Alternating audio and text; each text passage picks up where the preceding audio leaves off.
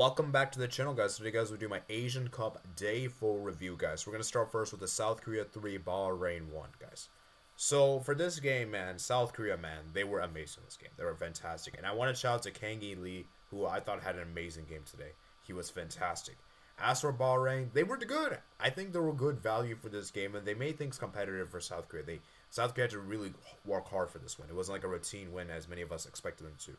And I think Bahrain, for me, they were playing very defensive. Of course, they know Bahrain. We know Bahrain couldn't compete with South Korea. So the idea for them was to frustrate them, and South Korea had to resort to long ball. Resort, resort to long ball. And the first goal, man, was a great goal there from Hwang. Um, I believe they missed a sitter beforewards in my highlights I saw. By the way, I believe this is the early kickoff, so I, I, I wasn't able to watch the full. I wasn't able to watch the game, so I tried to watch the comprehensive highlights for this game. And then obviously the second, the and then the equalize. The equalize there the Bahrain goal that scored South Korea, man, defensively was shambles. They should have done way better there defensively. I wasn't, I don't know what they were doing. And shout out to Kim Min-jae, man. Shout, Kim Min-jae made a really good pass over the top for Hank, uh, um, King E. Lee.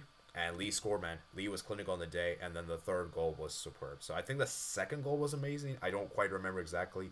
Uh, and yeah, man. So, and then Son missed a late chance to end. So, yeah, for South Korea, man, they got the job done. They won three goals to one.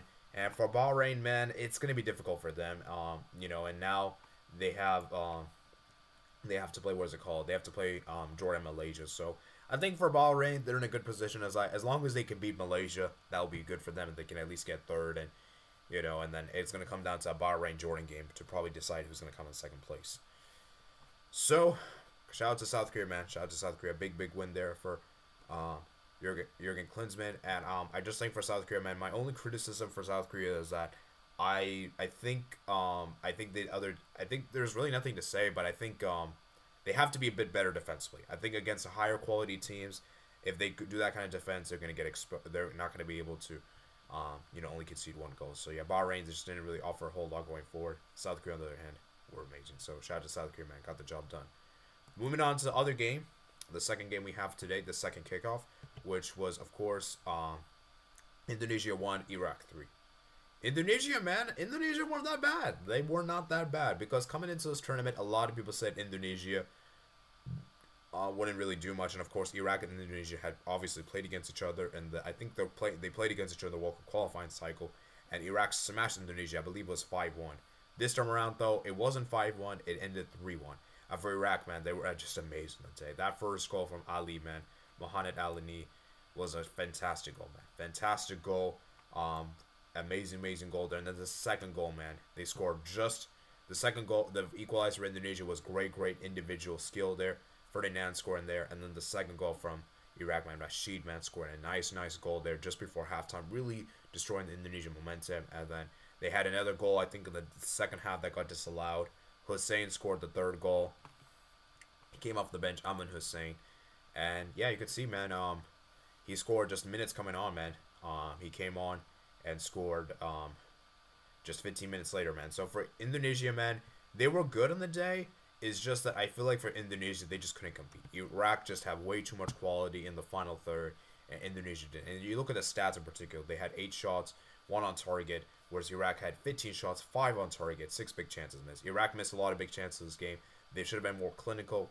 And um, like I said, man, Iraq should have won this game, but like, like you know, three or four goal margin. They were just that much better. As for Indonesia, they just didn't have enough quality in the final third. You could see they struggled to create high quality chances, and that's what ultimately hurt them end. And so um, Hussein didn't really have to do much. And for the goalkeeper, man, Sutardi, I don't think he had a really good game of goalkeeper. I think he could have done better for some of those goals. And yeah, for Iraq, man, look out for Iraq, guys, because I think Iraq's a team that you don't want to play against in the quarterfinal. You don't want to play against in the knockout stage because I think this team can do something. I think this team have what it takes to um, make things difficult. And so yeah, so shout out to Iraq, man. Shout out to Iraq. Finally, the final game we have here for today is um uh, Malaysia nil Jordan four, and I gotta owe an apology to um uh, Jordan. I said Jordan would finish bottom of the group. I have to humbly apologize because my goodness me, man, Jordan were really good on the day. They were fantastic on the day, and they proved me wrong massively. Malaysia, on the other hand, even though the score was really bad, I don't think they were that bad. And I'll explain why a bit.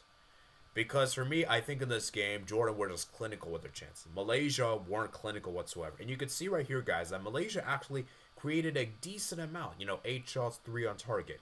It's just the difference is they were not clinical with their chances. Whereas Jordan, on the other hand, were clinical with 14 shots, 8 on target, and 3 big chances. Because, like I said, guys, if you look at the stats, Malaysia actually committed more fouls, they had more corners, they had more accurate passes, but ultimately, the most important thing is the goals. And yeah, Malaysia, man, defensively were just awful. They were just awful defensively. Mardi, man, scored a, that goal for the first goal, man. Great, great goal there. Uh, then the second goal, man, was scored by Taamari from the penalty spot. Uh, very, very clumsy charge. I think was committed by Davis. I think Davis took uh, took him down in the box, and then he scores, of course. And then 32nd minute, Mardi scores, and then I think yeah, and then and then there was a late spell of dominance. Malaysia were actually really good in the second half. They created a lot of good chances. Jordan were kind of sitting back. And then Jordan scored that dagger man. Al-Taamari scored in the 85th minute. A very, very nice chip over the goalkeeper. And yeah, for Jordan, man, they were just amazing the day. A comfortable win. As for Malaysia, man, I think it's pretty much over for them. I think it's really much over for them because they're in a minus four goal difference and they have to play against because let's be real, they're not getting against South Korea. So their best hope is really against Bahrain. And that's gonna be very difficult for them because especially with the goal difference, man, I think it's fair to say Malaysia is probably gonna exit in the group stage of the I think it's I think it's gonna be a tall task for Malaysia to do something. As for Jordan, man, they're in a great position. I think they're gonna at least get third in the group, and now it's gonna be interesting them in Bahrain for that second place spot because that's really the interesting thing with this group because I'm really curious to see who's gonna get that second place because that was always a big talking point with this group is that who's gonna get that second place between Jordan and Bahrain because they're kind of on the similar level. As for Malaysia, man, you got to hell your you got it's it's it's tough to tough pill to swallow because I think for me they weren't that bad as a score may have suggested, but they were just really bad defensively, and that's what ultimately let you down. And they just couldn't finish in the final third. That's uh, quite a shame because even if they had like scored like one or two goals, losing four two is way better than losing four 0 and would help well at least in their terms of goal difference. Because when you lose four 0 your chances of qualification is pretty much out the window. Like it's going to be very difficult. So if Malaysia somehow qualify after a 4 0 defeat, I would be very, very surprised and very happy for them you know, and obviously it's amazing for them to qualify for this tournament in the first place because I think they're one of the lowest ranked nations in this competition. So you have to give them full props for that. But as I said, though, this is a probably a bridge too far for them. So, like I said, man, shout out to Jordan, man. I'm still not really. excuse me. I'm still not really totally convinced on Jordan just yet because I do think that they're gonna have to. Uh, because, like I said before, I I do think Malaysia did have some good chances, and I do think Jordan is gonna have to improve upon their game if they want to convince me they're the real deal. So let's see what they do against Bahrain. Because if Jordan beats Bahrain, guys, then I think they'll be the real deal. Anyways, I think that's it for today, guys. Hope you guys did enjoy this quick little analysis of the three games. Real guys, tomorrow will be our live stream uh, to recap entire match day one. And I'm really looking forward to seeing you guys there. It's going to take place at around 5.15ish p.m. Eastern Standard Time. Hope you guys did enjoy. Remember, guys, to like and subscribe. And yeah, I'll see you guys later. Peace out.